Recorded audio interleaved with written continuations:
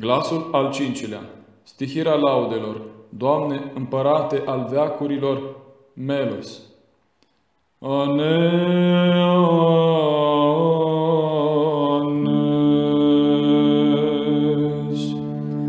Laudați-l pe el în timpane și în hore, laudați-l pe el în strune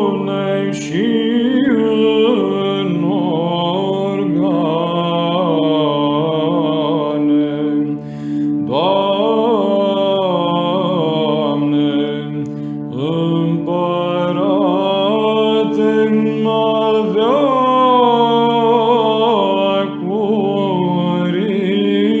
veacurilor și făcătorule al tuturor, cela ce pentru noi răstignire